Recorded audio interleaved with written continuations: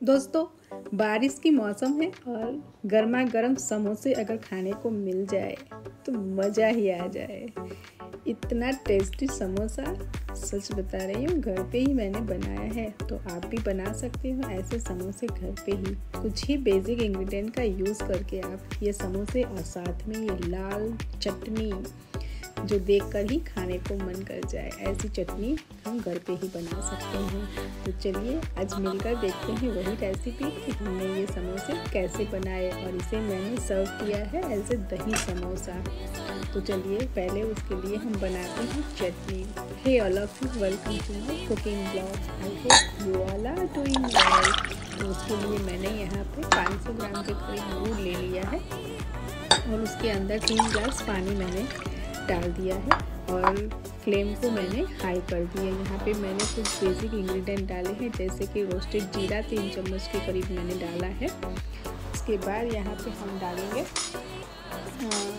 जीरा रोस्टेड डालना और उसके बाद यहाँ पे हम डाल, डालेंगे जिंजर पाउडर एक टीस्पून एक, और एक टीस्पून कश्मीरी लाल मिर्च मैं डाल दूँगी। दो टीस्पून वो मैंने डाला है।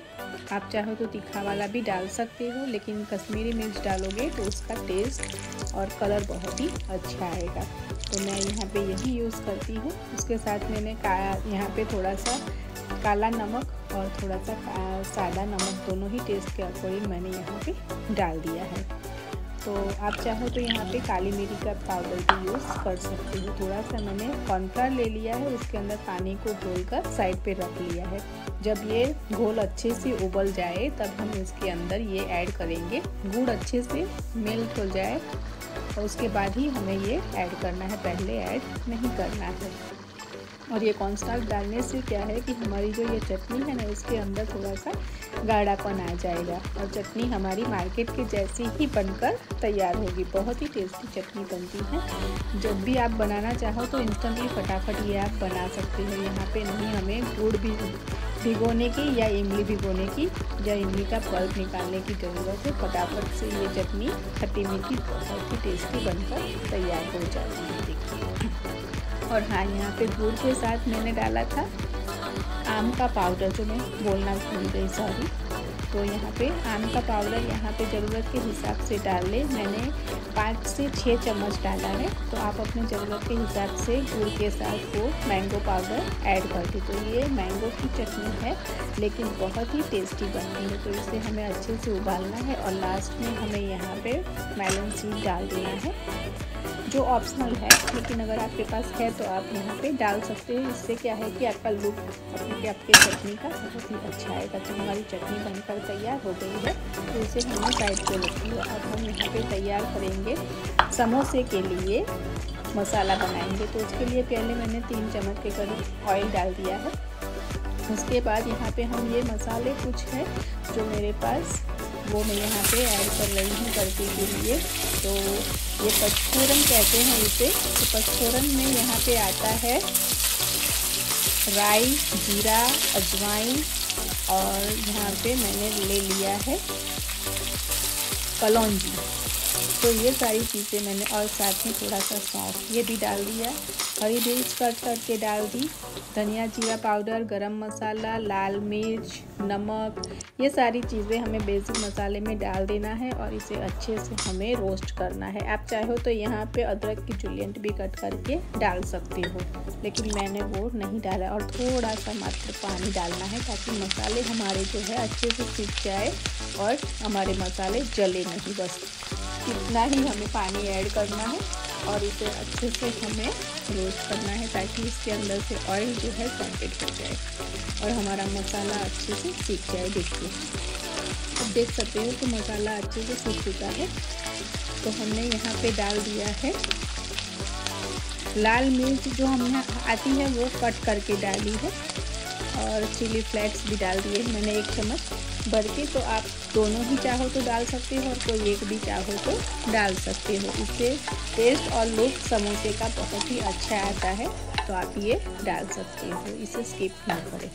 और उसे भी अच्छे से थोड़ी देर के लिए रोस्ट कर ले। बस ज़्यादा रोस्ट करने की ज़रूरत नहीं है। बस इसमें से मसाले की खुशबू अच्छी आनी चाहिए। तब तक हमें सेकना है। और उसके बाद हमने बॉयल पोटेटोज जो है मैश करके मैंने रखे हुए थे साइड पे, वो डाल दिए 500 ग्राम के करीब और आधी कप के करीब यहाँ पे मैंने धनिया पाउडर धनिया पत्ता डाल दिया है सॉरी उसका बहुत ही अच्छा टेस्ट आता है इसके अंदर। अगर आपके पास फ्रेश या फ्रोज़न मटर है तो आप इस स्टेज पर डाल सकते हो। मेरे पास अभी नहीं है तो मैं नहीं ऐड कर रही हूँ। लेकिन अगर आपके पास है तो आप यहाँ पे वो ऐड कर सकते हो। बहुत ही अच्छा टेस्ट आता है इसके अंदर। तो आप अपने अनुसार मसाला बना सकते हो।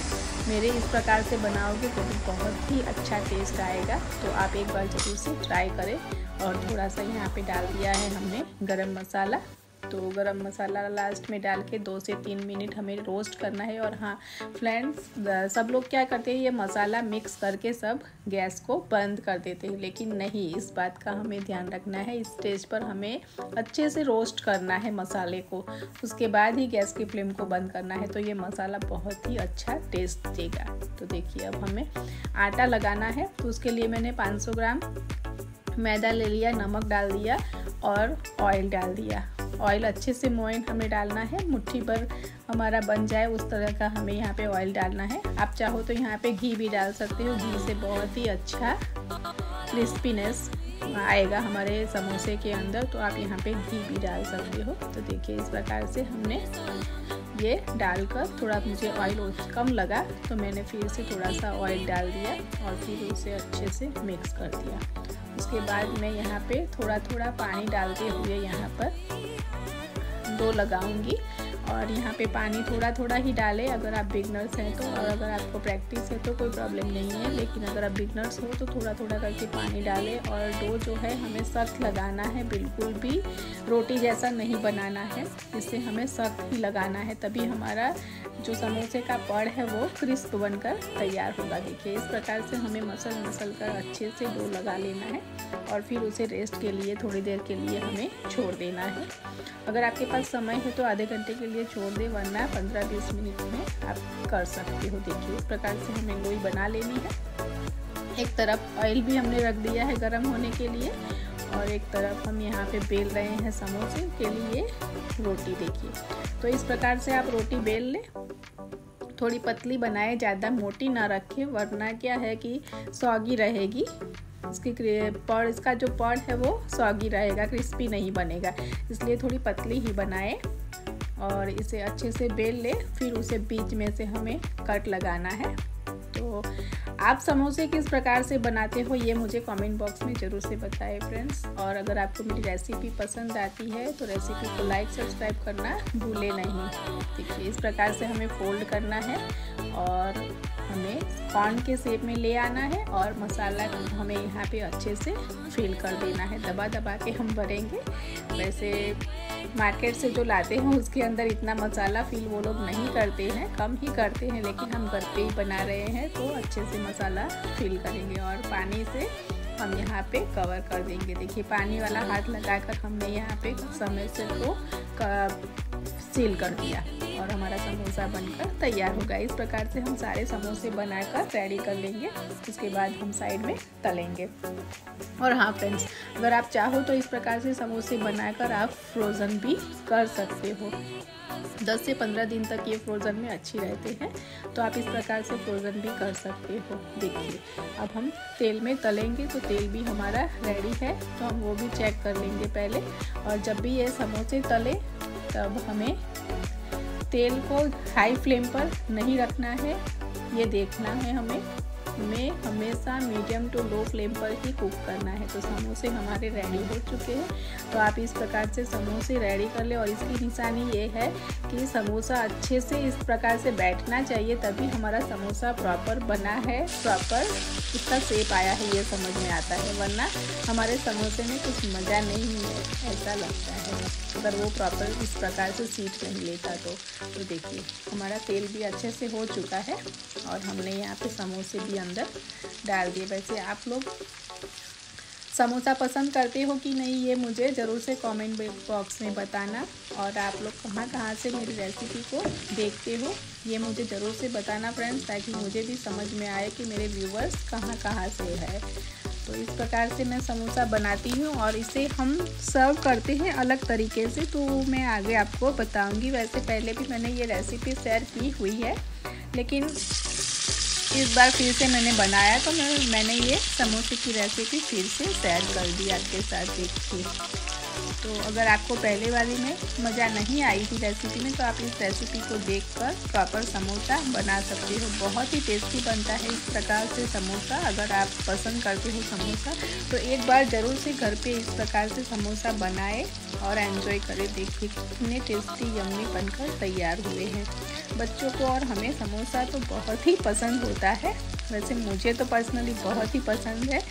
हमारे घर में समोसा घर पे ही ज़्यादा बनता है। बाहर से लाते हैं, लेकिन ये मज़ा नहीं आती है जो घर पे है, आती है। तो हम घर पे ही बनाना पसंद करते हैं। और फिर इसे हम सर्व भी अलग प्रकार से करते हैं। बाहर से लाते हैं तो सिंगल एक चटनी के साथ हमें ये सर्व कर देते हैं, लेकिन हम इसे दही समोसा के रूप में खाते हैं। तो हम इसके ऊपर अलग अलग चटनियाँ वगैरह डालकर इसे एंजॉय करते हैं तो बहुत ही मज़ा आती है खाने में। और बच्चों को भी बहुत मज़ा आती है तो आप इस प्रकार से ये समोसा एक बार ज़रूर से ट्राई करें। और आप लोग अभी बारिश के सीज़न में और कौन कौन सी रेसिपीज़ बनाना पसंद करते हो, ये मुझे ज़रूर से कमेंट बॉक्स में बताए देखिए। इसे आप हाफ़ फ्राई करके भी रख सकते हो और फिर जब खाने का मन हो, तब आप इसे गर्म करके फिर से खा सकते हो। और चाहो तो इस प्रकार से पूरा भी फ्राई कर सकते हो। देखिए, मैंने ये फ्राई किया है, कितना यम्मी बनकर तैयार हुआ है। देख कर ही मुँह में पानी आ रहा है फ्रेंड्स मैं रह ही नहीं पाती। देखिए, ये चटनी भी हमारी तैयार है। तो ये ठंड अभी गर्म है, इसलिए इतनी थोड़ी पतली दिख रही है, लेकिन जब ये ठंडी हो जाएगी तो काफ़ी गाढ़ी हो जाएगी ये चटनी। तो इसे, इस चटनी को भी आप बनाकर फ्रीज़ के अंदर रख सकते हो, फ्रोज़न कर सकते हो लंबे समय तक। तो अगर आपके पास चटनी रेडी रहेगी तो आप कभी भी कुछ भी इस चटनी में से बना सकते हो। तो देखिए, मैंने समोसा इस प्रकार से तोड़ लिया है। और उसके ऊपर हम अब डालेंगे अलग अलग प्रकार की चटनियाँ। जैसे कि पहले तो मैं यहाँ पे दही जो मैंने ब्लेंड करके रखा हुआ था, वो दही डाल देंगे इसके ऊपर। फिर इसके ऊपर डालेंगे ग्रीन चटनी या सॉरी रेड चटनी पहले डाली मैंने। तो यहाँ पे थोड़ी सी ग्रीन चटनी उसके ऊपर हम डालेंगे जो मैंने पहले से ही बना कर रखी थी। अगर आपको इसकी रेसिपी चाहिए तो वो भी मैंने शेयर की हुई है। उसके ऊपर थोड़े से ओनियन हमने कट करके रखे थे, वो डाल दिए। उसके ऊपर थोड़ी सी हमने सेव भुजिया डाल दी है। और फिर उसके ऊपर धनिया पत्ती डाल दी। अब इसके ऊपर फिर से हम थोड़ी सी रेड चटनी डालेंगे और इसे एंजॉय करेंगे फ्रेंड्स क्या गजब का टेस्ट आता है इसका। आप एक बार ज़रूर से बनाकर ट्राई करें। बहुत ही यम्मी बनकर।